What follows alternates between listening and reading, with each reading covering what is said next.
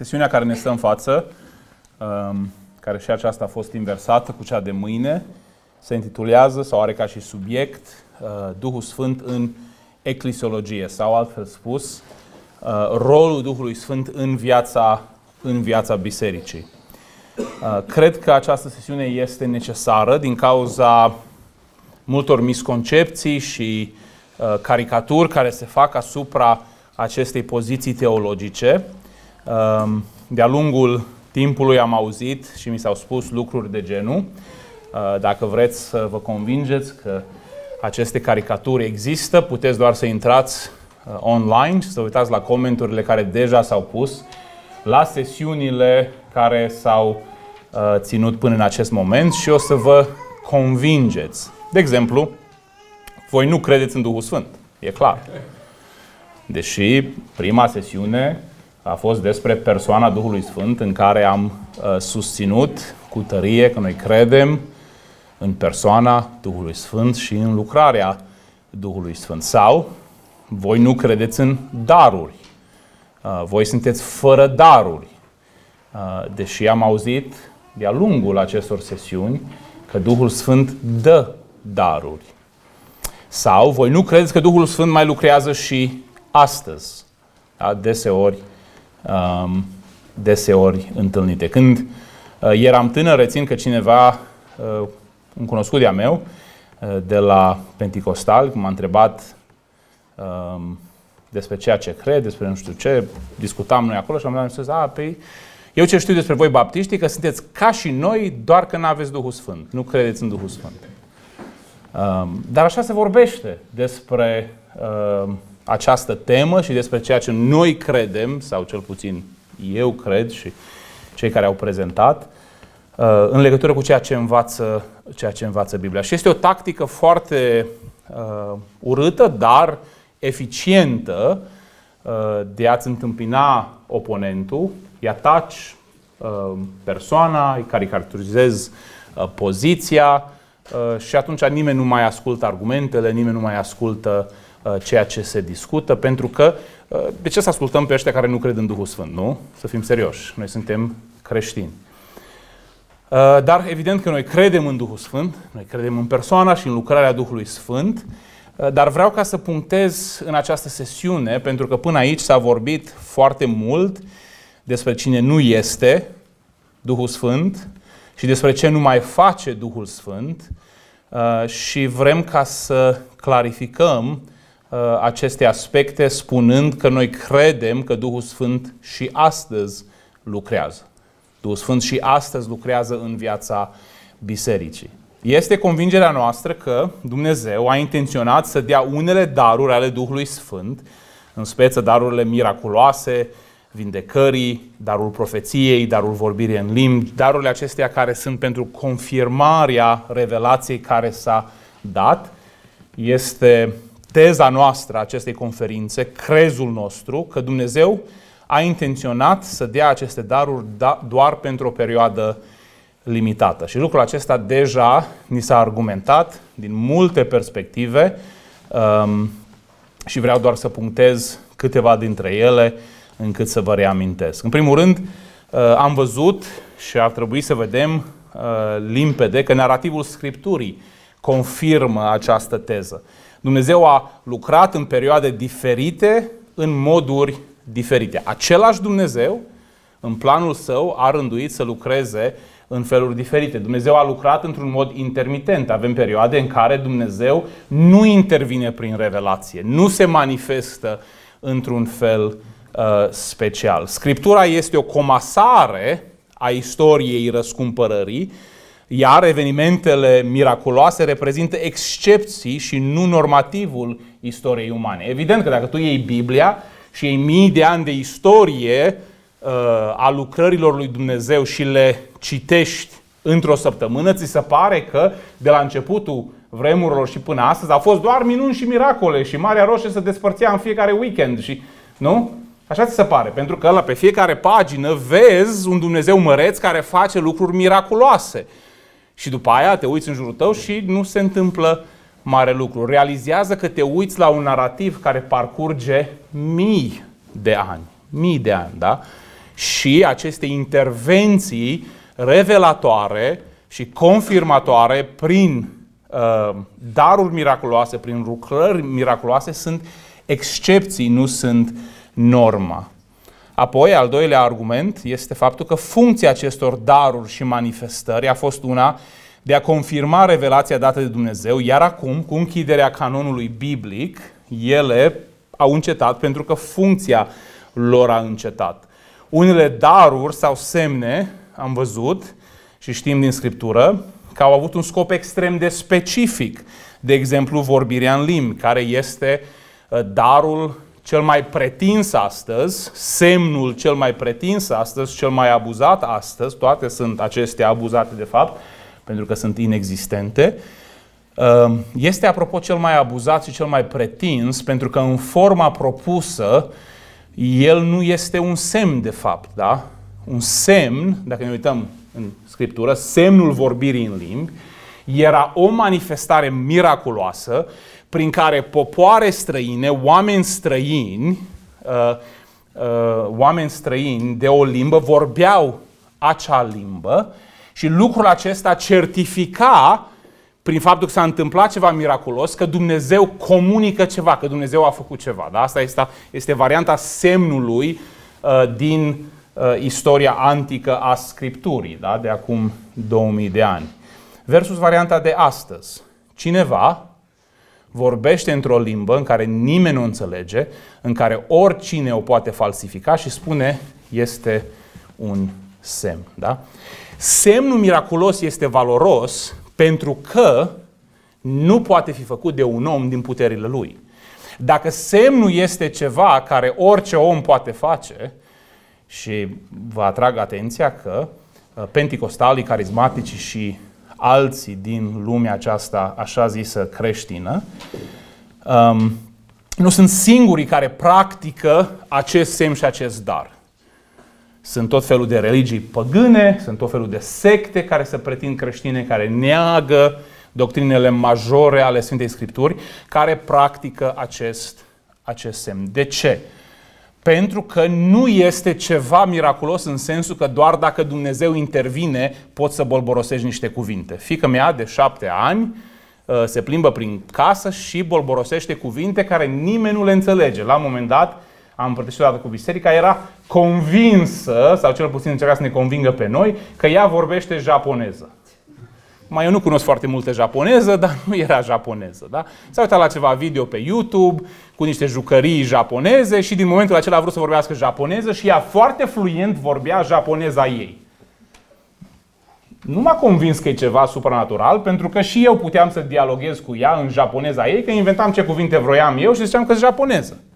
Înțelegeți? Un semn supranatural confirmă ceva dacă el este supranatural, dacă nu se poate face natural prin propriile mele, propriile mele forțe. Da? Altfel nu are nicio, nicio valoare. Semnul acesta vorbirii în limbi am văzut că a avut un uh, uh, rol foarte specific. Dumnezeu a dat această manifestare supranaturală care nu putea orice om doar să zică Uh, n-am învățat, nu știu, dar uite că instant acum voi vorbi o limbă neînvățată, dar trebuia o intervenție a lui Dumnezeu, l-a dat ca un semn de judecată împotriva poporului Israel și de a confirma faptul că la mântuire sunt incluși neamurile, că Dumnezeu acum lucrează cu neamurile, cu Hristos și biserica sa vizează și pe neamuri. Evident că nu mai există vreun dubiu în biserică că neamurile au fost incluse în planul lui Dumnezeu de mântuire. Da? Niciunul dintre voi nu are dubii și nu se gândește că doar iudeii ar trebui să facă parte din biserică. Altfel n-ați fi aici sau ați fi la uh, iudeii mesianici și v-ați convertit și la iudaism. Da? Dar înțelegeți asta. De ce?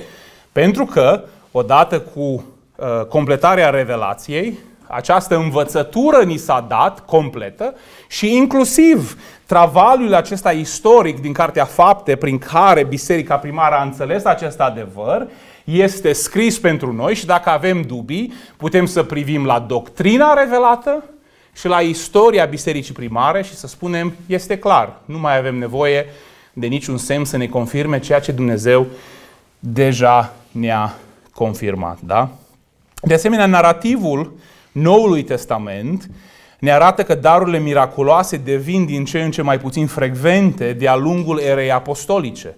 Altfel spus, chiar și uitându-ne la primul secol, vedem că darurile acestea nu sunt în ascensiune și sunt în scădere. Vedem de asemenea, de exemplu, și puteți ca să probați ceea ce vă spun eu, mergeți acasă, citiți Cartea Faptului Apostolilor și vedeți cum se petrece această istorie. De asemenea, scrierile care sunt uh, scrise mai târzii de apostoli, mai aproape de închiderea canonului, vedem că nu menționează aceste daruri absolut deloc.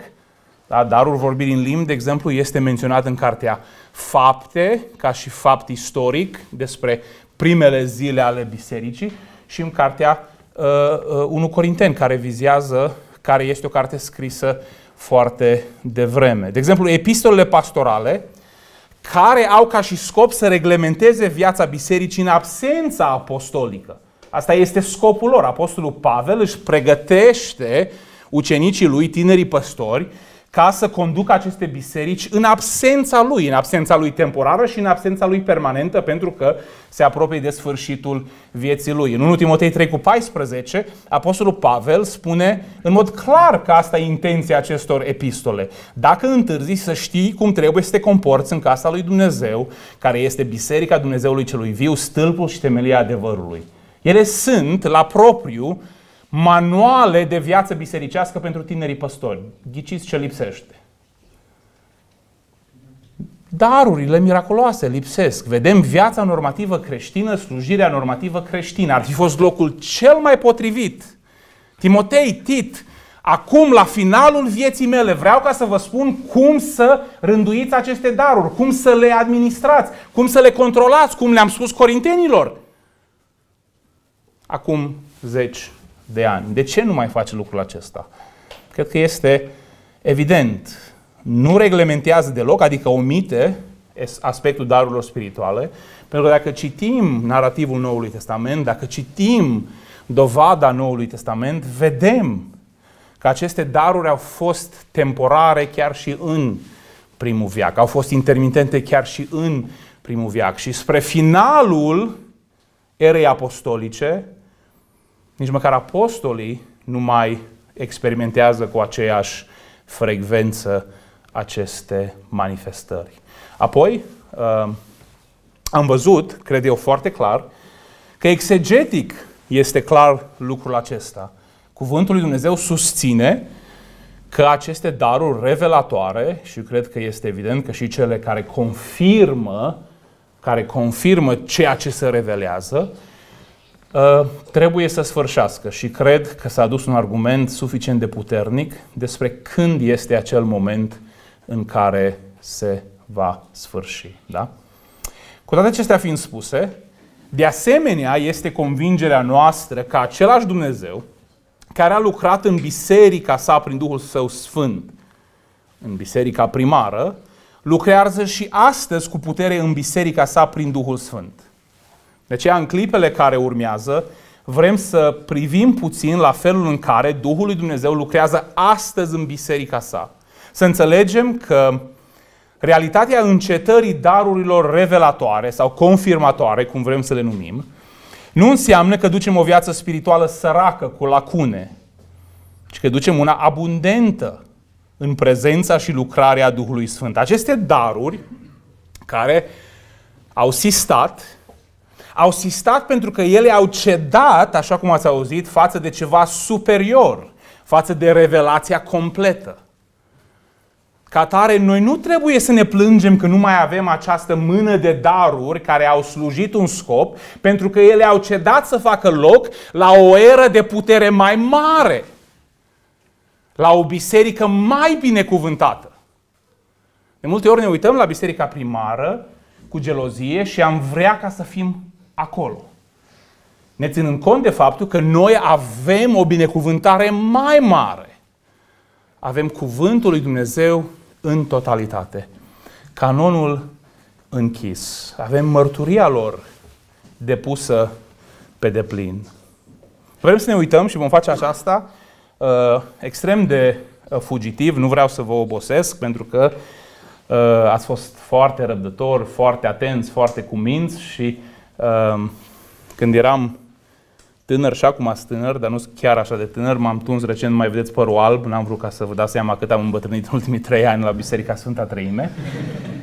Um, tata îmi zicea că secretul unui predicator de impact este ca să îi faci să râdă, am realizat asta, să strigi la ei, da? Oamenii suntem așa, noi ne cunoaștem la urmă starea, știi? Ne place când cineva ne taxează un pic, suntem masochiști așa un pic. Și în cele din urmă, cel mai important, zicea el, să fii scurt. Dacă realizezi aceste trei lucruri, vei fi un predicator de succes. Acum, primele două am cam realizat de-a lungul slujirii mele, asta cu a fi scurt mai rar, dar voi încerca în această, în această seară. Recunosc că în ultimii trei ani m-am cam limitat și am ajuns undeva la o oră, o oră și un pic. Înainte era o oră 40, frații pot confirma, dar m-am mai pocăit și eu. Sau poate, poate nu, cine știe. Uh, și vreau să fac aceasta, să ne uităm la lucrarea Duhului Sfânt în viața bisericii de astăzi. Da? Să vedem ce se întâmplă astăzi. Am văzut ce nu se mai întâmplă, dar nu vreau ca cineva să plece cu ideea, nu se mai întâmplă nimic. Da? Adică noi nu mai citim despre Duhul Sfânt, dar nu mai se întâmplă nimic, nu mai avem vreun beneficiu. În viața bisericii de astăzi, uh, și vreau să fac aceasta prin, uh, am doar 17 puncte, da? deci vom uh, merge foarte rapid, da? dar sunt, sunt scurte. În primul rând, trebuie ca să începem de aici, pentru că, așa cum am învățat, Uh, am studiat această perioadă de tranziție și beneficiul cel mai mare care vine din această perioadă de tranziție și din sistarea acestor daruri pentru noi este ceea ce Duhul Sfânt a produs prin aceste daruri, dar care este un beneficiu continuu pentru biserică până la revenirea Domnului Isus Hristos și anume lucrarea completă a revelației. Nimeni să nu plece de aici cu ideea că bine, bine ne tot spui că avem cuvântul, dar ce mare lucru? Noi vrem putere! Pentru că cuvântul lui Dumnezeu este puternic. Cuvântul lui Dumnezeu este desăvârșit. Cuvântul lui Dumnezeu este suficient. Și Duhul Sfânt este cel care a produs această binecuvântare numită Scriptura pentru Biserica lui Hristos. 2 Timotei 3, 16 cu 17, probabil că știți textul acesta foarte bine. Toată Scriptura este inspirată de Dumnezeu. Țineți cont că atunci când acest text este inspirat, Timotei, care citea acest text, nu avea toată Scriptura. Înțelegeți? În ce poziție privilegiată vă aflați, chiar față de Timotei, care era ucenicul lui Pavel? Toată Scriptura este inspirată de Dumnezeu și de folos pentru învățătură, pentru mustrare, pentru îndreptare, pentru instruire, îndreptate, pentru ca omul lui Dumnezeu să fie desăvârșit și de plin echipat pentru orice lucrare bună. Pavel vine și uh, aruncă hiperbole și superlative și să înțeleagă. Ai tot ce trebuie prin cuvânt. Da? Tot ceea ce trebuie. Desăvârșit. Ok, Pavel, dar chiar tot, chiar desăvârșit, de plin echipat. Pavel, dar pentru orice situație, dar pentru situațiile acelea particulare, știi, când sunt niște chestii mai dificile, pentru orice lucrare. Am înțeles. Deci cuvântul este suficient. Da, Cuvântul este suficient pentru că este însuflat de Dumnezeu, prin Duhul Sfânt, este cuvântul lui Dumnezeu. Nu este o carte oarecare, sunt cuvintele lui Dumnezeu transmise prin proroci, prin apostol și păstrate în providența lui Dumnezeu pentru noi. Ce mare minune! V-ați gândit numai la lucrul acesta? Simplu fapt că ai o Biblie este o minune a providenței lui Dumnezeu. Nici o altă carte nu s-a păstrat în felul acesta. Noi avem cu certitudine cuvintele care le-a scris Apostolul Pavel. Este o minune dumnezeiască lucrul acesta. Că Dumnezeu a comunicat prin cuvântul său și că Dumnezeu a păstrat cuvântul său pentru biserica sa. Este o binecuvântare până la revenirea Domnului Isus Hristos. 2. Lucrarea de iluminare a cuvântului făcută de Duhul Sfânt. Fără lucrarea Duhului Sfânt, cuvântul este străin pentru noi. În, Pavel, în 1 Corinteni 1 cu 18, Pavel spune că mesajul crucii este o nebunie pentru cei ce pierd. Însă pentru noi, cei care suntem mântuiți, este puterea lui Dumnezeu. Deci prima dată să fie iluminat pentru prima dată.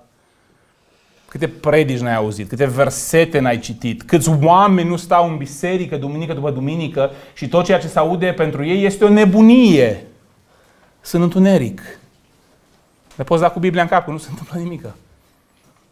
De ce? Pentru că este nevoie de o lucrare dumnezeiască. În 1 Corinteni 2 cu 14, Pavel reiterează și spune, dar omul firesc nu primește lucrurile Duhului lui Dumnezeu, căci pentru el sunt o nebunie și nu le poate înțelege. Pentru că trebuie judecate duhovnicește. Ca tare, cuvântul lui Dumnezeu, deși este o binecuvântare extraordinară și chiar pentru lumea seculară, cuvântul lui Dumnezeu, Scriptura, a creat o revoluție în istorie extraordinară. Ideea de libertate, ideea de, uh, inclusiv ideea de guvernare democratică, se bazează pe temelia cuvântului lui Dumnezeu. Ideea de drepturile omului, care acum încet încet dispar prin revoluția asta marxistă care se revarsă peste Europa. Este nevoie de lucrarea iluminării pentru ca noi să percepem, să înțelegem, să iubim Cuvântul lui Dumnezeu pentru prima dată când suntem aduși la viață, dar și în mod continuu. De fiecare dată când stăm înaintea Cuvântului lui Dumnezeu, dacă vrem ca să-L pătrundem, dacă vrem să-L înțelegem, dacă vrem ca Dumnezeu să ne vorbească din El, este nevoie de lucrarea Duhului Sfânt. Calvin spunea, lucrarea Duhului este legată de Cuvântul lui Dumnezeu.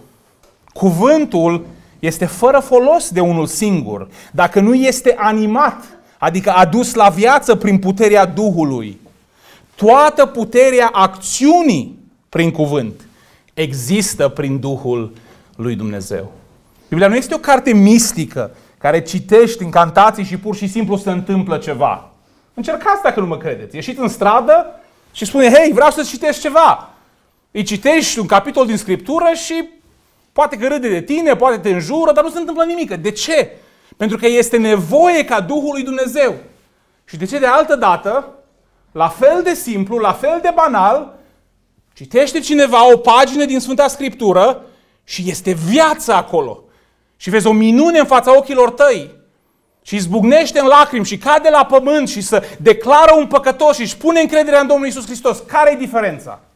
Diferența este iluminarea, lucrarea Duhului Sfânt. Care e diferența când tu citești robotic din Cuvântul lui Dumnezeu? Ne-am pontat, am făcut jumătate de oră de devoțional astăzi și pleci de acolo rece. Sau când citești o propoziție și să străpunge inima și rămâi marcat și viața ta este transformată, viața ta unui creștin. Diferența este cuvântul animat, adus la viață prin lucrarea Duhului Sfânt. Așa că tu ai cuvântul, și ai nevoie de Duhul Sfânt ca să-l aplice, ca să-l lucreze, să-l incorporeze în mintea ta, în Duhul tău. Este foarte important și Duhul Sfânt face lucrul acesta și astăzi. Și astăzi în biserica sa. 3. Duhul Sfânt și astăzi face lucrarea de a convinge de păcat. În Ioan 16 cu 8, Domnul Iisus spune și când va veni El, va dovedi lumea vinovată cu privire la păcat, la dreptate și la judecată. Ce face, cum ziceam, pe un om confruntat cu Evanghelia să fie indiferent și pe alții confruntați cu Evanghelia să răspundă ca și aceea din fapte 2 cu 37. Când au auzit lucrurile acestea, ei au rămas străpunși în inimă și au întrebat pe Petru și pe ceilalți apostoli, fraților, ce să facem? Ce convinge pe un om că este păcătos, care are nevoie de iertarea păcatelor, care are nevoie de mântuire?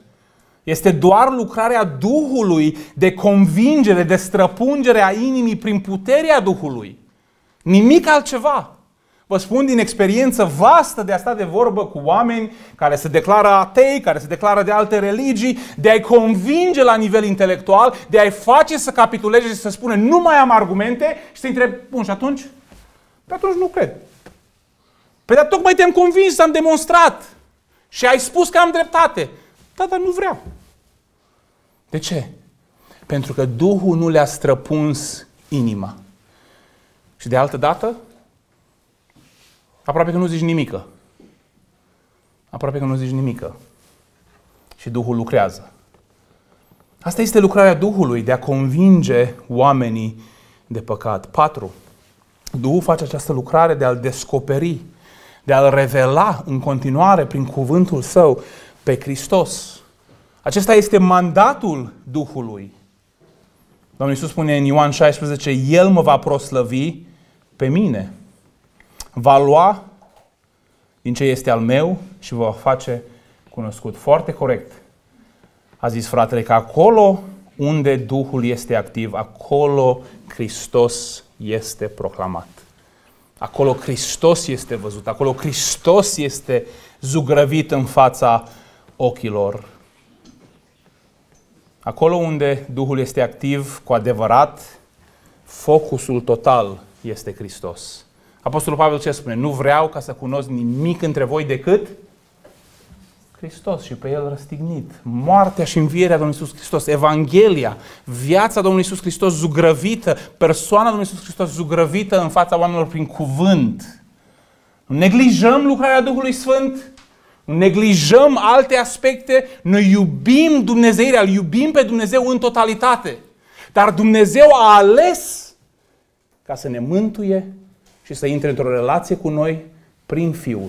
Și ne-a spus să ne ațintim ochii pe Fiul. Și Duhul asta face, Duhul îl descoperă și îl proslăvește pe Hristos. 5. Lucrarea regenerării, lucrarea nașterii din nou. Vă spun că în bisericile unde se predică Evanghelia, sunt mai multe învieri din morți decât în toate bisericile carismatice la oaltă. Într-o singură biserică unde se predică Evanghelia. Că este doar prin predicarea Evangheliei doar prin vestirea lui Hristos Duhul face această lucrare. Iisus i-a răspuns lui Nicodim, Ioan 3. Adevărat, adevărat îți spun că dacă cineva nu este născut din apă și din Duh, nu poate să intre în împărăția lui Dumnezeu. Ce este născut din carne este carne, iar ce este născut din Duh este Duh.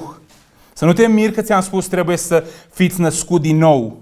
Vântul suflă, suflă încotro vrea. Și la, îi auzi vuietul, dar nu știi de unde vine și unde se duce. Tot așa se întâmplă cu oricine este născut din Duhul. Este Duhul cel care în mod suveran aduce la viață. Și fără această lucrare suverană a Duhului Sfânt nu există mântuire, nu există viață. Pavel spune în 3 cu 5, el ne-a mântuit însă nu datorită faptelor pe care le-am înfăptuit noi în dreptate, ci potrivit cu mila Lui prin spălarea făcută de nașterea din nou și prin înnoirea făcută de Duhul Sfânt. Dacă astăzi ai viață, dacă astăzi pulsează în tine viața spirituală, este pentru că Duhul Sfânt te-a adus la viață.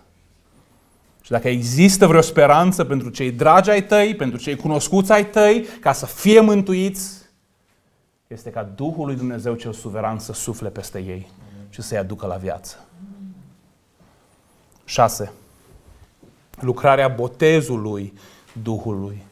N-am să insist foarte mult pe aceasta pentru că deja uh, s-a vorbit mult pe această uh, temă, chiar în diverse sesiuni, dar uh, Uh, totuși vreau ca să vedem că ea este activă și astăzi. Uh, prin botezul Duhului Sfânt suntem incorporați în trupul lui Hristos. Suntem uniți cu Hristos și suntem uniți unii cu alții, ca și mădulare în același trup. 1 Corinteni 12 cu 13. Noi toți am fost botezați într-un singur Duh într-un singur trup, fie iudei, fie greci, fie sclavi, fie oameni liberi, și tuturor ne-a fost dat să bem dintr-un singur Duh. Ați observat? Noi, scufundați în Duhul, Duhul intră în noi. Noi suntem botezați în Hristos, suntem mădulare din El, Hristos este acum al nostru. Este această lucrare, până la urmă, care dă naștere bisericii. Fără mădulare nu există trup. Biserica se formează atunci când Duhul, în mod suveran, se revarsă și formează biserica, aduce la viață și incorporează în trupul lui Hristos. Biserica Universală este o mișcare suverană a Duhului prin care El incorporează oricare mădular credincios în trupul lui Hristos. Iar această realitate devine vizibilă pentru noi în trupul local de credincioși numită biserica locală. Este această lucrare a Duhului care este temelia unității creștine. De aceea putem și de aceea trebuie ca să fim uniți, pentru că Duhul ne-a incorporat împreună în trupul lui Hristos și pentru că statutul nostru este de una în Hristos. Tot astfel spune Pavel în Roman 12 cu 5. Și noi care suntem mulți și diferiți și ciudați și cu ale noastre, asta nu spune Pavel, spune eu, sper că v-ați dat seama, noi care suntem mulți, suntem un singur trup în Hristos. Iar în mod individual, adică ne relatăm individual, suntem mădulare unii altora. În Efeseni 4, de la 1 la 6, ne spune în felul următor. Așadar, eu cel întemnițat pentru Domnul vă îndemn să trăiți într-un mod vrednic de, pe, de chemarea pe care v-a făcut-o Dumnezeu. Cu toată smerenia, blândețea, cu răbdare, îngăduind-vă unii pe alții în dragoste. Stăruiți-vă să păstrați unitatea pe care o dă Duhul prin legătura păcii. Deci există o unitate pe care o dă Duhul, o altă lucrare. Deci punctul 18, da? Sau 6b. Există, aici vedem, această poruncă a unității care vine prin Duhul. Dar cum va fi posibil așa ceva? Ce ne va motiva? Ce ne va incapacita ca să avem această unitate? Că suntem așa de diferiți, avem preferințe diferite, hobby-uri diferite, politică diferită. Uitați temelia și motivația unității. Este un singur trup și un singur duh. Așa cum și voi ați fost chemați la o singură nădejde, un domn, o credință, un botez. Un Dumnezeu și Tatăl tuturor care este deasupra prin toți și în toți. Este prin lucrarea Duhului Sfânt, prin botezul Duhului Sfânt prin care am fost incorporați în trupul lui Hristos, că suntem făcuți una, indiferent cât de diferiți suntem. Se pare vouă, acum că noi suntem diferiți, gândiți-vă atunci când unul era liber și unul era sclavul celui liber și mergeau la aceeași biserică. Și erau una în Hristos. Acum, dacă suntem PSD și PNL, nu mai putem. Nu se poate. Poate că sunt de aceeași nuanță, nu mai nu știu că... Da. Nu prea, politica română nu prea pot urmări că mă deprimă. Nu mai avem unitate. De ce? Dacă unul îi place muzica cu tare și altul muzica cu tare, nu mai avem unitate. Dacă unul vrea așa și altul vrea așa, nu mai avem unitate. Dacă unul vrea mochetă verde și unul albastră în biserică, nu mai avem unitate. Pentru că nu înțelegem de unde derivă această unitate, care este temelia unității noastre, motivația unității noastre. Este faptul că am fost împreună incorporați în Hristos, prin același botez al Duhului Sfânt. V-ați gândit vreodată că unitatea bisericii este lucrarea Duhului Sfânt? Și este.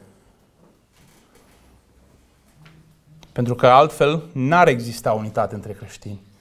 Și nu știu cum se poate explica atunci bisericile care pretind că sunt pline de Duhul Sfânt, dar total dezbinate. Este o contradicție în termeni. Acolo unde este Duhul este unitate. Acolo unde este Duhul este dragoste de frați. 7. Duhul Sfânt, ne arată Scriptura, că nu doar ne incorporează în trupul Domnului Isus Hristos și ne unește unii cu alții, dar Duhul Sfânt locuiește în fiecare credincios, pe tot parcursul vieții noastre.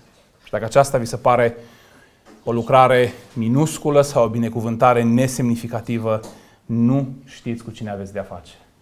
Dumnezeul etern, suveran, Duhul lui Dumnezeu, care era din infinitate în infinitate, locuiește în tine. Și ți se pare, da frate, dar aia tremură. Duhul lui Dumnezeu, Dumnezeul veșnic, și-a făcut reședința în inima ta. Da, frate, dar un avea o durere de cap și l-a vindecat de durerea de cap. Am niște advil, îl dau. Duhul lui Dumnezeu locuiește în tine. Nu mă mișcă.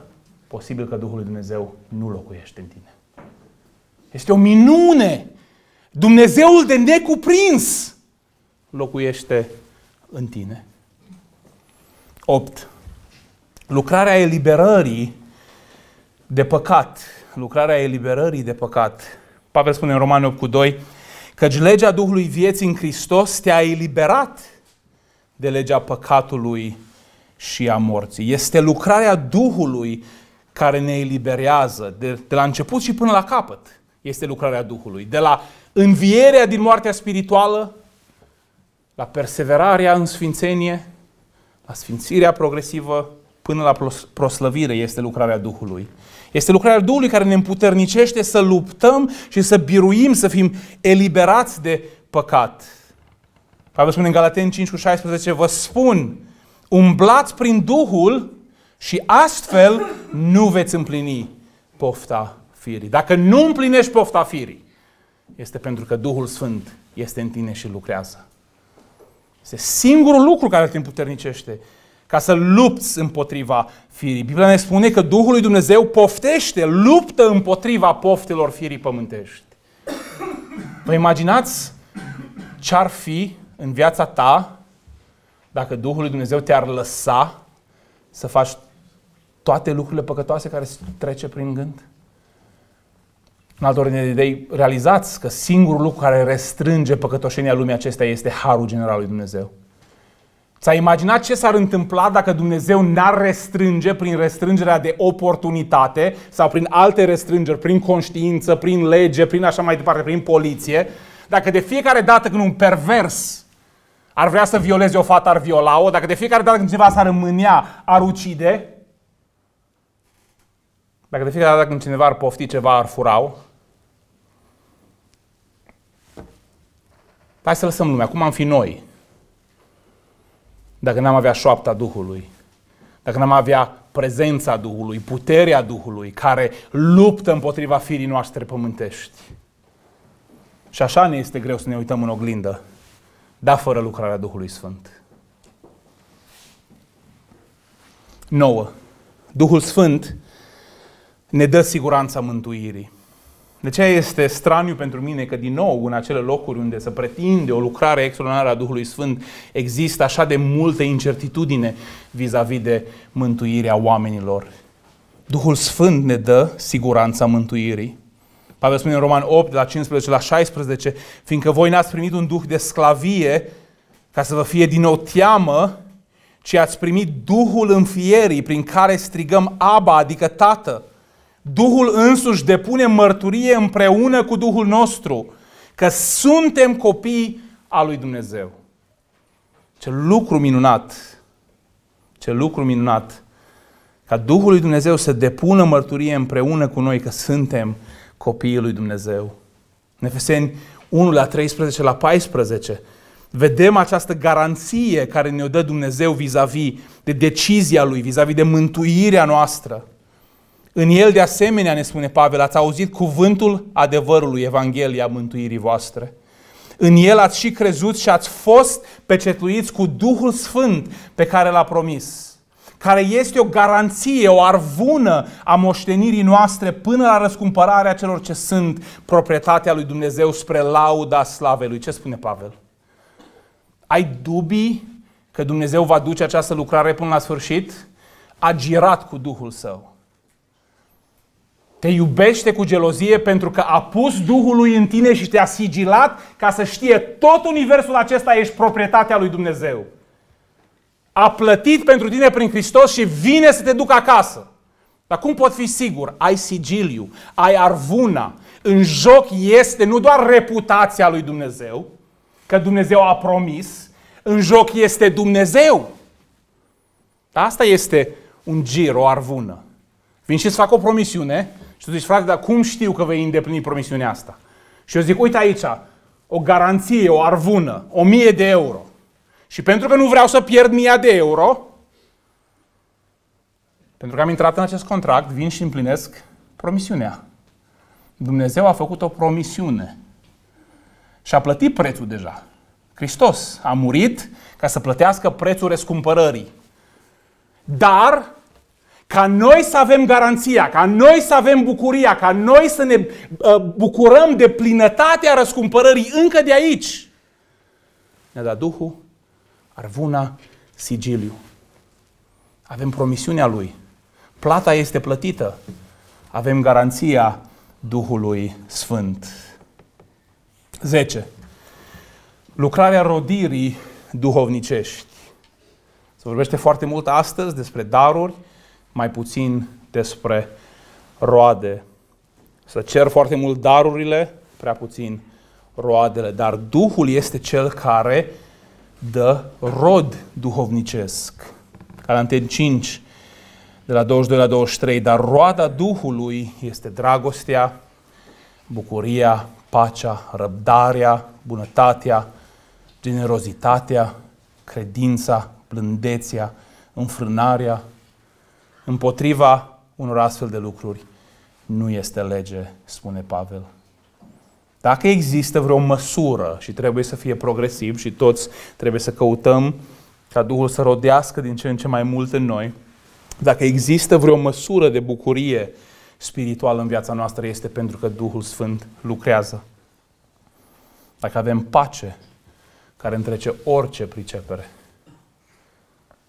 este pentru că Duhul rodește, lucrează în viața noastră. 11. Lucrarea plinătății, și din nou nu vreau ca să stau prea mult, pentru că deja am avut o sesiune, dar este o lucrare continuă a Duhului. Da, noi trebuie să fim responsabili, noi trebuie ca să beneficiem de instrumentele Harului, noi trebuie ca să um, căutăm această plinătate, dar în cele din urmă este o lucrare a Duhului.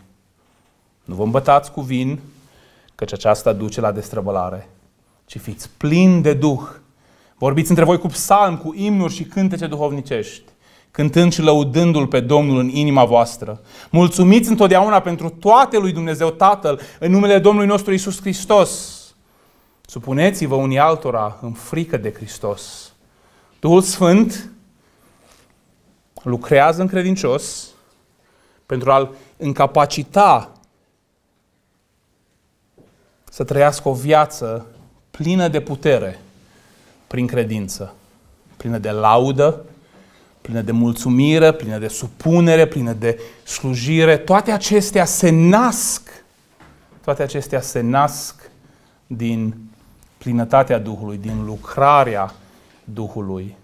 Acolo unde oamenii sunt cu adevărat plini de Duhul Sfânt, sunt supuși, se slujesc, îl laudă pe Dumnezeu, sunt mulțumitori. O câți oameni care vorbesc în limbi și pretind că fac minuni știu care nu sunt mulțumitori, care nu sunt sfinți, dar ei sunt plini de Duhul Sfânt pentru că bolborosesc. Plinătatea Duhului Sfânt nu se dovedește așa cum a arătat fratele Ilia Bledea prin acele falsificări, ci prin aceste dovezi, aceste semne care le produce atunci când Duhul Sfânt lucrează în noi. Laudă, mulțumire, supunere, slujire. 12. Bucuria duhovnicească. Există o bucurie supranaturală, o bucurie produsă de Duhul Sfânt. Nu bucuria care o ai când îți cumpără soțul sau soția un cadou, o bucurie care nu poate fi explicată. O bucurie care doar Duhul Sfânt o poate produce. Pavel o descrie, de exemplu, în 1 Tesaloniceni 1 cu 6, când spune în felul următor, și voi ați devenit imitatori ai noștri și ai Domnului, când deși erați în mare necaz. Deci vedem în ce situație se află aceștia care au devenit imitatorii lor. Erau în mare necaz. Deși erați în mare necaz, ați privit cuvântul cu bucuria, cum Pavel, cum să primească lucruri, oamenii aceștia cuvântul cu bucurie dacă erau în mare necaz. Că pe noi dacă ne doare măseaua un pic, sau avem o durere de cap, sau șeful s-a uitat un pic strâmb la noi, nu mai putem veni la biserică. Ce să mai primim cuvântul cu bucurie? Venim și nu contează dacă fratele Mihai sau fratele Andrei sau cine e slujitor la voi în biserică, dacă Duhul l-a binecuvântat cu iluminare și putere și are predica vieții lui, tu ești lemn. Pentru că ai o mică problemă și nu poți să te concentrezi la cuvântul lui Dumnezeu și să te bucuri de el, pentru că e o problemă. N-ai găsit parcarea, trebuie să parchezi la 50 de metri. Nu e așa? N-ați experimentat? Eu am experimentat. Și oamenii aceștia, într-un mare necaz, primesc cuvântul cu bucurie. să provedește Evanghelia și ei îi recepționează prin credință, cu bucurie. De ce? Pentru că vine de la Duhul Sfânt. Vine de la Duhul Sfânt. Roman 5, la 3 la 6, Apostolul Pavel elucidează mai mult această învățătură a bucuriei duhovnicești, a bucuriei inexplicabile. Dar nu numai atât, spune Pavel, ci ne și bucurăm în necazuri. Știind că necazul produce răbdare, răbdarea produce caracter matur, caracterul matur produce nădejde, iar nădejdea aceasta nu ne dezamăgește, întrucât dragostea lui Dumnezeu a fost turnată în inimile noastre prin Duhul Sfânt, care ne-a fost dat. Pentru că în timp ce noi eram neputincioși, Hristos a murit la timpul potrivit pentru cei neevlavioși. Veți formula foarte pe scurt, nu am timp acum, dacă vă interesează, am o, o pre, o, un ciclu întreg pe bucuria în necaz. Formula pentru bucurie în necaz. Pavel ne-o dă foarte repede. În primul rând, trebuie să știi ceva.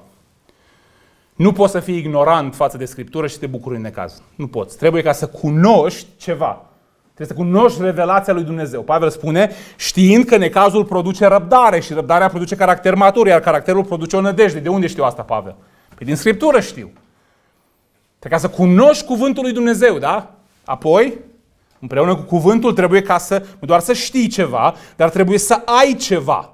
Să fi primit ceva, să ai ceva. Ce anume? Duhul lui Dumnezeu. Duhul lui Dumnezeu ne-a fost dat, este în noi și aplică acea cunoștință. Teoretic e simplu să spui. Mă pot bucura în mijlocul necazului, în mijlocul cancerului, în mijlocul problemelor financiare, pentru că știu că acestea lucrează răbdare, lucrează caracter, lucrează nădejde. Practic este imposibil. Ce o face posibil? Ca știința, cunoașterea aceea să fie reală pentru tine. Duhul lui Dumnezeu produce acea bucurie inexplicabilă. Vreți să vedeți un om care experimentează lucrarea supranaturală a Duhului Sfânt? Căutați un om bucuros pe patul de moarte și veți vedea o minune. Veți vedea o lucrare a Duhului Sfânt. Căutați oameni bucuroși în pușcărie pentru credința lor și veți vedea o lucrare inexplicabilă a Duhului Sfânt. Oameni care stau fain frumos, cu aer condiționat, cu încălzire, cu mașini, cu tot ce le trebuie și se țipă pe jos în râsul sfânt, e o blasfemie, aia nu-i bucurie inexplicabilă. Oameni care se droghează, știți că sunt cazuri în care s-a descoperit, nu știa cum oamenii ăștia au râsul ăsta și toată biserica izbucnea și s-a făcut cercetări, s-a investigat, s-a descoperit că puneau droguri în vinul de la cină. Aia nu-i bucurie inexplicabilă. Da? Aia e foarte explicabil. Fie printr-o manipulare psihologică, fie prin substanțe chimice, fie pur și simplu prin prostie sau fie prin posedare demonică. Inexplicabil sunt sfinții din pușcărie care din dragoste și bucurie pentru Hristos au compus unele dintre cele mai minunate imnuri care le putem cânta. Sunt oamenii care pe patul de moarte zâmbesc pentru că știu că îl voi vedea pe Hristos. Aia este bucuria Duhului Sfânt. Aia este minunea. Al cunoaște pe Hristos, avea nădejdea în Hristos și avea nădejdea aceea făcută vie prin lucrarea Duhului Sfânt. 13. Lucrarea călăuzirii. Lucrarea călăuzirii. Toți cei care sunt călăuziți de Duhul lui Dumnezeu sunt fia lui Dumnezeu, ne spune Apostolul Pavel. Duhul Sfânt ne călăuzește și astăzi în viața noastră de credință. Duhul Sfânt n-a lăsat credinciosul fără călăuză, ci El, care este în noi, în mod direct, ne călăuzește. Cum? Prin Scriptură ne călăuzește, prin biserică, prin frați, prin instrumentele Harului. De aceea cuvântul lui Dumnezeu trebuie să le locuiască din belșug în noi. De aceea trebuie să avem gândirea care era în Hristos. Cuvintele lui Hristos trebuie să fie în mintea noastră. De ce? Ca Duhul Sfânt să le aplice, ca Duhul Sfânt să ne le aducă aminte, ca Duhul Sfânt să ne călăuzească prin ele. De aceea trebuie să fim prezenți în adunare, să fim membri într-o adunare sănătoasă, unde să fim supravegheați, unde să ne aducem aportul și să creștem împreună și să ne călăuzim și să ne îndemnăm la fapte bune și să ne îndemnăm la pocăință. 14. Duhul Sfânt, am văzut, este cel care a instituit biserica, este cel care și astăzi aduce oameni la viață, îi incorporează în trupul lui Hristos și vedem acest fenomen, aceste reprezentări a trupului universal în biserica locală. Și aceste biserici trebuie să fie slujite, au nevoie de slujitori și Duhul Sfânt este cel care dăruiește acești slujitori bisericii. Duhul Sfânt este cel care organizează biserica, care guvernează biserica, care dă slujitori bisericii. Apostolul Pavel spune în Efesen 4, de la 11 la 15 lucrul acesta. L-a desemnat pe unii apostoli, pe alții profeți, pe alții evangeliști, pe alții păstori și învățători, pentru echiparea sfinților, pentru lucrarea de slujire, pentru zidirea trupului lui Hristos. A plăcut așa de mult. Cu câtă seriozitate a introdus aceste subiecte fratele Beni. Urăsc, detest generația mea de predicatori care urcă în amvon cu ușurință. Care nu tremură în papucii lor când se urcă înaintea poporului Dumnezeu și nu realizează că predică înaintea tronului Dumnezeu. Care vin cu costumație și tot felul de urăsc. Mă mir cum mă suferă Dumnezeu pe mine și pe cei care se străduiesc ca să predice cu claritate și cu curățenie cuvântul lui Dumnezeu. Dar pe cei care le iau în jocură este zidirea trupului lui Hristos. El este cel care își zidește biserica. El este cel care desemnează slujitorii. El este cel care ne dăruiește darurile necesare. El este totul pentru biserica lui. Până când vom ajunge toți la unitatea în credința și în cunoașterea Fiului Dumnezeu, la omul matur și la măsura maturității plinătății lui Hristos. Ca să nu mai fim copii duși de valuri și purtați de orice vânt de învățătură dată prin viclenia oamenilor care înșală, ci spunând adevărul în dragoste să creștem în toate privințele în El care este capul Hristos, biserica care are un singur cap, un singur conducător, Hristos. Simpla înțelegere că Duhul este Cel ce desemnează, ce organizează biserica, ce alege slujitorii, ce rânduiește, ce guvernează biserica lui Hristos, ar transforma biserica contemporană în mod radical. Dacă ar înțelege slujitorii cu cine au de a face și dacă ar înțelege biserica, mădularele în ce sunt implicați. În fapt, de 20 cu 28, a, a, ni se spune în felul următor, Luați seamă, deci, la voi înșivă și la toată turma peste care Duhul Sfânt v-a pus episcopi, ca să păstoriți Biserica lui Dumnezeu, pe care El a câștigat-o prin sângele propriului său fiu. Ce responsabilitate pentru slujitor! Să luăm seamă pentru că Dumnezeu ne-a încredințat pentru un timp o biserică locală care El a plătit pentru ea cu sângele Lui. Și vom răspunde înaintea lui Dumnezeu pentru această slujire, spune Scriptura. Ce responsabilitate are biserica să realizeze că nu ea decide cine o slujește. Că Duhul Sfânt este cel care desemnează după criteriile lui. Că Duhul Sfânt organizează biserica așa cum El vrea, după cuvântul lui Dumnezeu și că responsabilitatea noastră este să căutăm ascultarea față de cuvânt și față de Duhul lui Dumnezeu. Mie nu-mi place de fratele Mihai, că el tot timpul spune să mă pocăiesc și tot timpul zbiară la mine și mie îmi trebuie unul cu glume și poante. Duhul nu-i curios de ce-ți place ție. Duhul e curios de creșterea ta, de sfințirea ta, ca tu să ajungi la starea de om matur, ca Hristos să-și prezinte mireasa fără pată, fără zbărcitură, desăvârșită, în acea frumoasă zi. 15. Duhul Sfânt nu doar că uh, alege, echipează slujitori ca să uh, conducă biserica, să cârmuiască biserica, să pregătească biserica, dar Duhul Sfânt echipează și mădularele bisericii pentru slujire. Am văzut în aceste pasaje care, visea, care uh, vizează echiparea mădularelor cu daruri pentru slujire lucrul acesta. De exemplu, în 1 Corinteni 12, la versetul 7, se spune că prezența Duhului este făcută cunoscută fiecăruia pentru binele tuturor. Duhul Sfânt lucrează în tine pentru binele fiecărui mădular din Biserica lui Hristos. Uneia este dat prin Duhul, un cuvânt de înțelepciune, altuia un cuvânt de cunoaștere, potrivit cu același Duh, altuia credință prin același Duh, altuia daruri de vindecare prin același singur Duh. Altuia înfăptuirea de minuni, altuia profeție, altuia discern, discernarea duhurilor, altuia felurite limbi, iar altuia interpretarea limbilor. Toate acestea sunt făcute de unul și același Duh care dă fiecare în parte așa cum vrea. Apoi, de exemplu, în Roman 12, ni se spune de asemenea, prin darul prin care mi-a fost dat, spune Pavel, spun fiecare dintre voi să aibă despre sine o părere mai, să nu aibă despre sine o părere mai înalt decât se cuvine, ci să fiți modești în gândirea voastră, fiecare după măsura de credință pe care i-a dat-o Dumnezeu. Pentru că așa, cum într-un trup avem multe mădulare și nu toate au aceeași funcție, tot astfel și noi care suntem mulți suntem un singur trup în Hristos.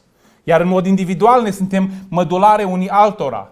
Avem diferite daruri, spune Pavel, după harul care ne-a fost dat. Dacă darul cuiva este profeția, să-l folosească după măsura credinței sale. Dacă este slujirea, să slujească. Dacă este cel de a da învățătură, să dea învățătură. Dacă este încurajarea, să încurajeze. Dacă este dărnicia, să dea cu generozitate. Dacă este acela de a conduce, de a cârmui, să o facă cu dedicare. Dacă este acela de a fi milostiv, să o facă cu bucurie. S-au observat ceea ce spune Apostolul Pavel. Fiecare primește daruri din partea Duhului Sfânt, primește lucrarea Duhului Sfânt în viața lui pentru beneficiu tuturor. Și există o diversitate de daruri care se dau și se dau după cum vrea Duhul Sfânt insistența obsesivă pe aspectul miraculos ale acestor pasaje care am văzut că s-a încheiat, duce la a rata ideea principală. Duhul Sfânt inzestrează pe fiecare mădular pentru slujirea trupului. Asta este ideea care ține până la revenirea Domnului Isus Hristos. Fiecare dintre dumneavoastră, dacă sunteți un mădular în Biserica lui Hristos, aveți daruri din partea Duhului Sfânt pentru a edifica biserica. Credință, înțelepciune, cunoaștere, slujire, învățătură, încurajare, permis să zic și dărnicie, milostivenie. Astea sunt daruri ale Duhului Sfânt. Vedeți, au fost câteva daruri speciale și temporare care și-au îndeplinit funcția și nu mai sunt. Dar a insista asupra lor în detrimentul diversității vaste de daruri și slujiri permanente, intenționate de Duhul Sfânt, este spre detrimentul bisericii. Duhul dă și astăzi darul. Daruri. Îl dorești pe cel al dărniciei? Vrei să fii milostiv? Vrei să fii o încurajare pentru frații tăi? Nu, frate, eu vreau daruri. Pe uite, credință, înțelepciune, slujire, învățătură, dărnicie și așa mai departe. Și aș putea enumera din Scriptură multe feluri de daruri care le dă Duhul și astăzi. Nu, frate, eu vreau alea patru care nu mai sunt, sau cinci, depinde, șase, câtele, cum le enumeri. Tu nu vrei daruri. Tu vrei exact ceea ce vreau cei din Corint. O afirmare a spiritualității lor. A te da mare, a fi cineva în trupul lui Hristos. Dar frate, dar ce slujire aia să fii darnic? Duhul spune că e slujire să fii darnic. Duhul spune că e slujire să-ți iubești frații. Duhul spune că e slujire să fii milostiv. Duhul Sfânt dă o diversitate vastă de daruri și astăzi și copiii lui Dumnezeu se bucură de orice dar primesc din mâna lui Dumnezeu prin lucrarea Duhului Sfânt. 16. Ne apropiem de final. Duhul face posibilă, posibilă adevărata închinare. Duhul este cel care ne um, care lucrează în noi încât să ne putem închina cu adevărat înaintea lui Dumnezeu. Altfel, tot ceea ce facem aici fără Duhul Sfânt, duminică dimineață, este teatru. Este teatru, pur și simplu. În Ioan 4 cu 24, știți foarte bine acel dialog pe această temă. Se spune Dumnezeu este Duh. Iar cei ce îi se închină trebuie să îi se închine în Duh și în adevăr. Tot ceea ce facem noi în închinarea noastră corporativă și nu numai, trebuie făcută prin Duhul lui Dumnezeu. De exemplu, rugăciunea noastră este prin Duhul. Adevărata rugăciune este doar prin Duhul Sfânt. În Efeseni 6 cu 18, Apostolul Pavel spune, rugați-vă întotdeauna în Duhul. Cu tot felul de rugăciuni și cereri, vegheați la aceasta cu toată stăruința și rugăciunea pentru toți sfinții. Adevărata rugăciune nu este doar întotdeauna, ci este întotdeauna în Duhul. Nu este suficient doar să zici, Doamne, Doamne, tot timpul să spui ceasul, sau ca și musulmanii să ai de multiple ori pe zi, îți pui preșul spre zalău și te închini. Nu, sau spre unde recepționați Duhul mai bine. Nu ajută la nimic. De ce? Pentru că adevărata rugăciune nu este doar constantă, este constantă și în Duhul Sfânt. Fără Duhul Sfânt, fără lucrarea Duhului Sfânt în inimile noastre, nu putem să ne rugăm. Nu știm cum să ne rugăm. Nu avem puterea să ne rugăm. Nu este așa că rugăciunea este cea mai dificilă disciplină spirituală? Nu este așa de greu? Așa nu avem chef? Dar când este ultima dată când ne-am rugat să avem chef de rugăciune? Așa că nu avem chef să ne rugăm de chef? Doamne, dacă ne-am rugat pentru chef de rugăciune, s-ar putea ca Duhul să răspundă pozitiv. Și atunci tot timpul ar trebui să ne rugăm și ar fi foarte dificil pentru noi, pentru că de fapt, ce faci? Nu știu. Roagă pe un frate să roage pentru tine să ai chef de rugăciune. Fă ceva, recunoaște că n-ai chef. Cine are înțelepciune să o ceară, cine are chef de rugăciune să ceară chef de rugăciune, da? Rugăciunea adevărată este prin Duhul Sfânt, întotdeauna prin Duhul Sfânt, dar este întotdeauna și cu mintea, ne spune Apostolul Pavel, în 1 Corinteni 14 cu 15. Așadar, ce voi face? Mă voi ruga cu Duhul, da? Cu Duhul, cu Duhul meu și cu Duhul Sfânt, evident, știm că Duhul nostru și Duhul Sfânt sunt activi împreună. Duhul mijlocește împreună cu noi în rugăciune. Dar mă voi ruga cu Duhul, dar mă voi ruga și cu mintea. Voi cânta laude cu Duhul, dar voi cânta laude și cu mintea.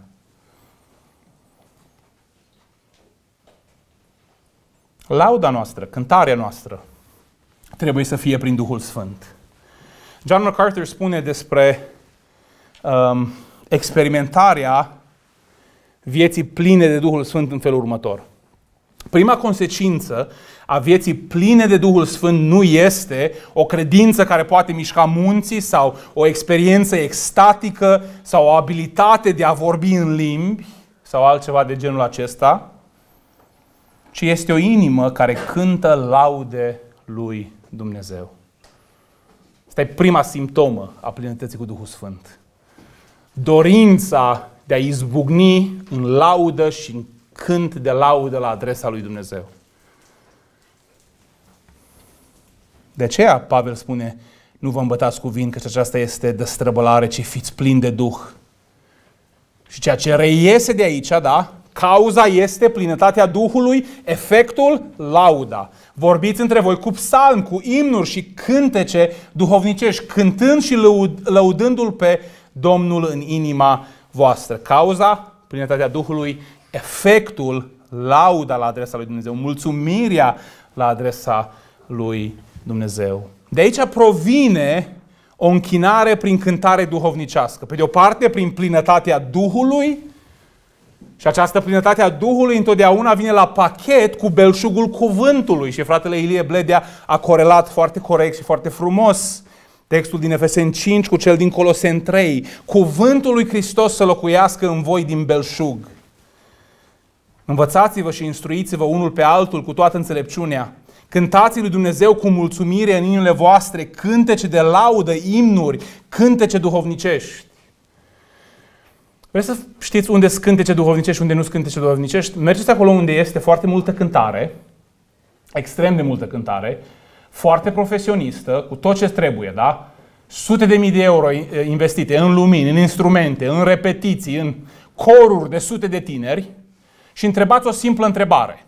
Câte ore investite în cântarea asta, în spectacolul acesta și câte ore în studiu biblic? Câte ore de repetiție pentru evenimentul anual, nu știu care, cu corurile reunite? Sute de ore, da? Și spui, avem o condiție, uite, avem un sfat practic din Cuvântul lui Dumnezeu. Ni se spune aici că cuvântul lui Dumnezeu, care este în noi din belșug, care îl împărtășim unul cu altul, este ceea ce produce, ceea ce însoțește cântarea noastră față de Dumnezeu. Sugestia. Pentru fiecare oră de repetiție a grupului de laudă, sau cum zice fratele Andrei, fraudă și întinare, să petreacă și o oră în studiu biblic. Nu mai vine nimeni. Nu mai vine nimeni. Da? De ce? Pentru că dacă petreci sute de ore în studiu biblic, îți cam dispare cheful de tot felul de ozeneuri. Cântarea duhovnicească, până la urmă, nu este un stil muzical. Cântarea duhovnicească este ceea ce se întâmplă în inima creștinului și se vocalizează prin cântare atunci când prin cuvântul lui Dumnezeu se întâlnește cu Dumnezeu. Și nu știu dacă ați văzut în Scriptură atunci când oamenii se întâlnesc cu Dumnezeu, dar nu arată nimic cum arată închinarea contemporană. Avem oameni încremeniți, oameni care sunt gata să moară, oameni care să prăbușesc la pământ de frică înaintea lui Dumnezeu de trei ori sfânt. Cântarea duhovnicească, închinarea duhovnicească, vine din plinătatea Duhului, care este întotdeauna însoțită de belșugul cuvântului. Învățătura dată în biserică, predicarea cuvântului, de asemenea trebuie ca să fie prin Duhul Sfânt. Domnul Iisus ne-a spus că acesta este un alt rol al Duhului Sfânt. Când ne promite că ne va trimite un alt mângâietor, un alt apărător, adică Duhul Sfânt, pe care Tatăl îl va trimite numele meu și vă va învăța toate lucrurile și vă va reaminti tot ceea ce v-am spus. El este învățătorul nostru. Nu eu sunt învățătorul dumneavoastră. Eu tot ceea ce vreau să fac este ca să vestesc cu fidelitate cuvântul lui Dumnezeu și mă încred în puterea și în lucrarea Duhului Sfânt că El vă va învăța din cuvântul lui Dumnezeu. Doamne ferește ca eu să vă învăț opiniile mele și părerile mele. Eu vreau doar să expun înaintea voastră cuvântul lui Dumnezeu și El să lucreze și să vă învețe în inimile, noastre, în inimile voastre. Atunci când cuvântul lui Dumnezeu este vestit, este citit, este proclamat, atunci în mod real, în mod real, Duhul lui Dumnezeu ne vorbește. Vă dau un simplu exemplu din Scriptură care ilustrează uh, lucrul acesta, că atunci când cuvântul lui Dumnezeu este proclamat, este citat, Duhul în mod real și activ vorbește. Autorul către evrei, în Evrei, capitolul 3, de la versetul 7, spune în felul următor. De aceea, așa cum spune la prezent Duhul Sfânt, și apoi spune, astăzi dacă auziți glasul lui, nu vă împietriți inimile ca atunci când v-a răzvrătit, ca în ziua încercării în pustie, când strămoșii voștri m-au pus la încercare și m-au ispitit.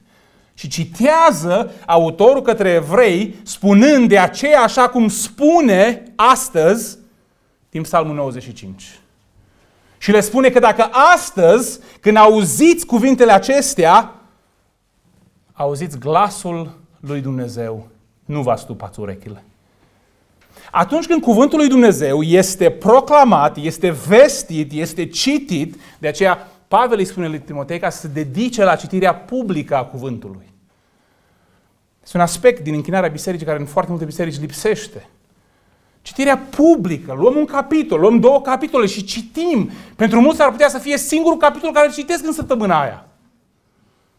Și atunci, când cineva, oricine, cel mai bâlbâit din adunarea ta, să urcă în amvon și spune deschideți la Efeseni capitolul 3 și citește Efeseni capitolul 3, ai auzit glasul lui Dumnezeu prin puterea Duhului Sfânt. Atunci când cuvântul este prezent, Duhul ne vorbește, Dumnezeu ne vorbește. 17 și ultimul punct.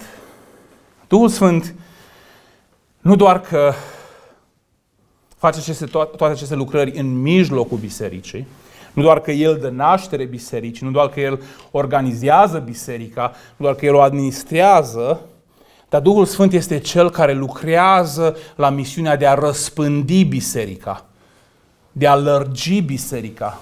Altfel spus, Duhul Sfânt este Cel care ne dă puterea și impulsul pentru misiune și evangelizare. Pentru a ieși de aici, după patru zile, despre a discuta și învăța despre Duhul Sfânt și nu asta pasiv, și în puterea Duhului Sfânt, ca și cei care au fost umpluți de Duhul Sfânt, să mergem și să proclamăm pe Hristos.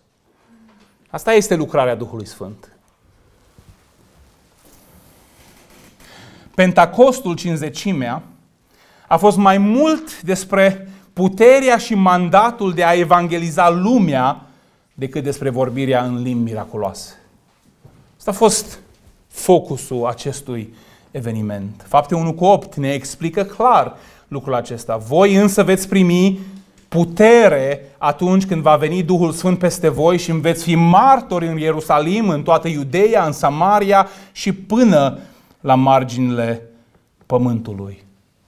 Vorbirea în limbi a fost un eveniment important, un eveniment, eveniment judicial, un semn al lui Dumnezeu, dar în comparație cu nașterea și misiunea bisericii, rețineți ultimele cuvinte a Domnului Isus Hristos, marea noastră trimitere, să mergem în toată lumea și să facem ucenici. Cum? Cum vom realiza lucrul acesta? Prin puterea Duhului Sfânt. Prin călăuzirea Duhului Sfânt. În comparație cu această misiune, cu acest impuls, cu această putere, vorbirea în limbi este o notă de subsol. Augustin zicea, de ce nu vorbește acum un om în limbile tuturor națiunilor? Se referă la vorbirea în limbi, cea de la Rusalii. Pentru că biserica acum vorbește în limbile tuturor națiunilor. Înainte, spune el, biserica era într-o singură națiune, adică în Israel, unde se vorbea în limbile tuturor. Face referință la cinzecime, la Pentacost. Prin vorbirea în limbile tuturor s-a simbolizat ce urma să vină. Și anume că prin răspândirea printre neamuri, prin lucrarea misionară, prin lucrarea de evangelizare, spune el, paranteza a fost a mea, biserica va ajunge să vorbească în limbile tuturor națiunilor. Înțelegeți? Impulsul, mesajul care a fost dat este mântuirea prin Hristos a venit pentru toate neamurile. Și de aceea s-a vorbit în toate limbile. Acum Duhul a coborât, este peste voi, s-a instaurat biserica, aveți prezența, puterea Duhului Sfânt. Mergeți la toate neamurile și vestiți-le Evanghelia. Și astăzi biserica nu vorbește chiar toate limbile, dar asta este scopul nostru ca să ajungem cu Evanghelia până la marginea pământului. Pentru mine aspectul ăsta, de exemplu, un... ceva m-a întrebat înainte ca să uh, încep această sesiune, frate, de ce te-ai întors în România? Se întreba foarte des lucrul acesta. Unul dintre lucrurile care m-a frământat întotdeauna a fost aspectul acesta a vorbirii în limbi. Am venit în România la o vârstă fragedă, în vizită. Eu am plecat de la șase ani. Am venit în România, am venit pentru o fată, cum vin cei mai mulți străini prin România, da?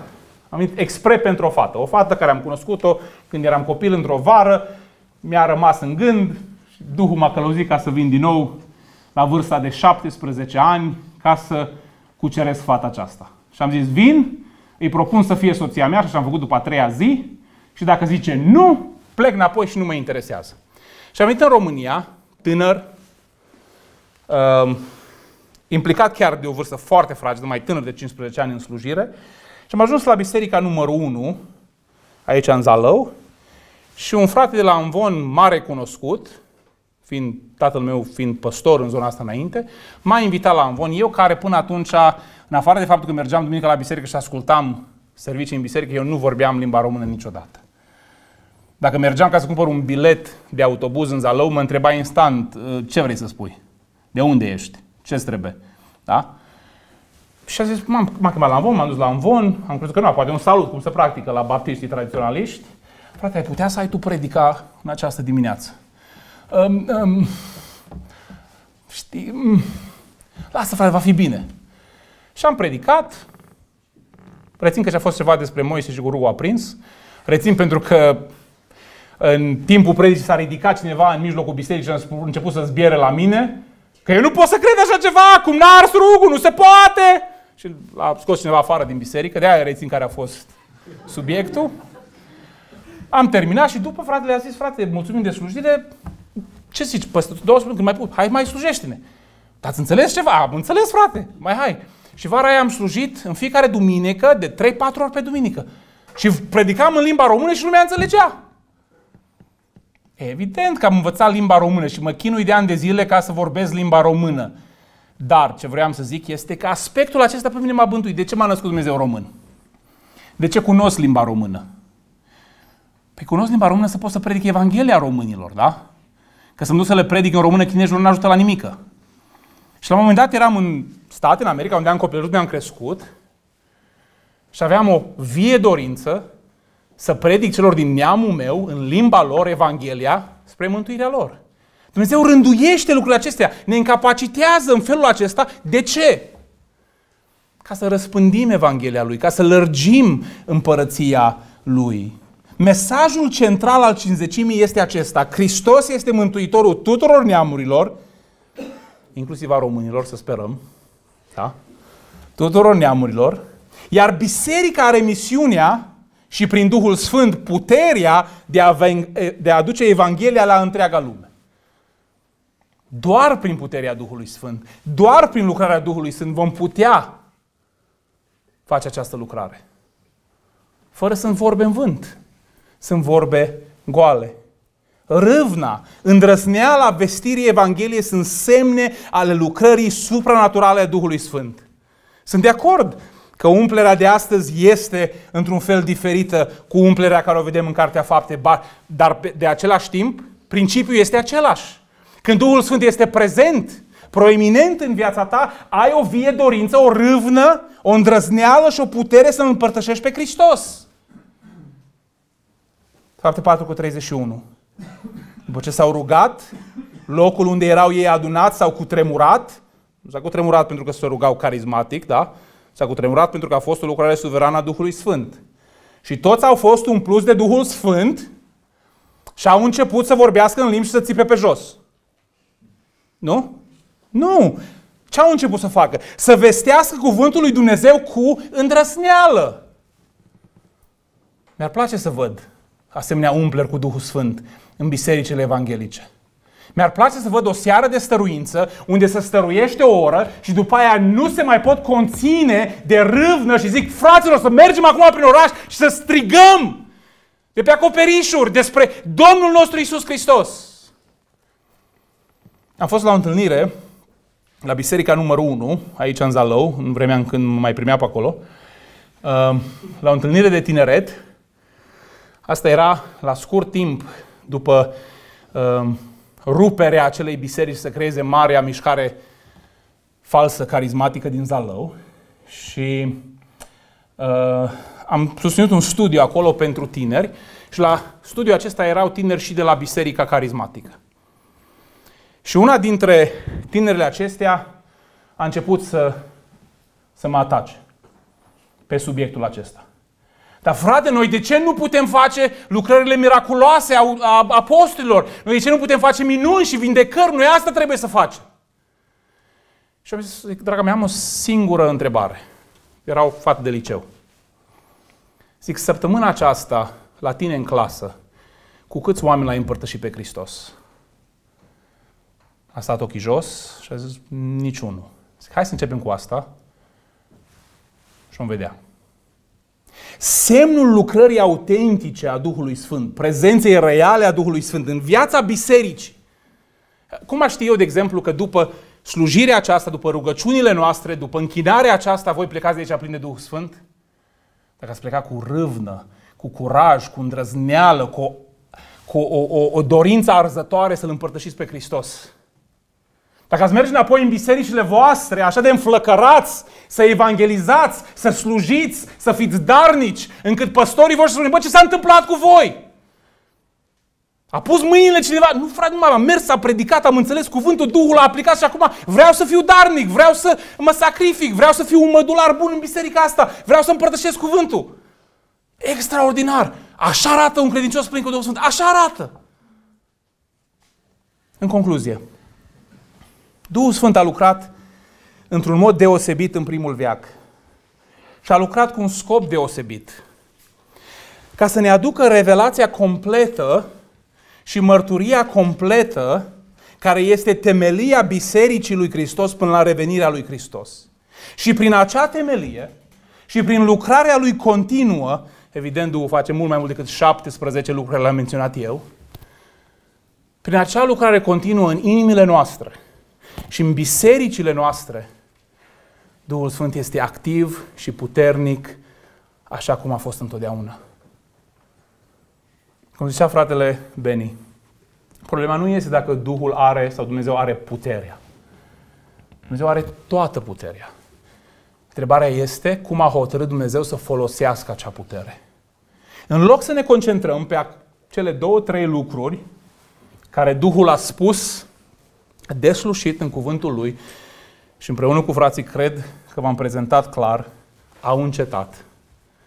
Ce-ar fi să ne focalizăm toată energia, să fim plini de Duhul Sfânt și să experimentăm diversitatea darurilor și lucrării Duhului Sfânt în vieții noastre. Cum ar arăta viața noastră personală? Cum ar arăta viața noastră eclesială? Dacă am experimentat toate aceste lucrări ale Duhului Sfânt, toate aceste daruri cu adevărat în viața noastră.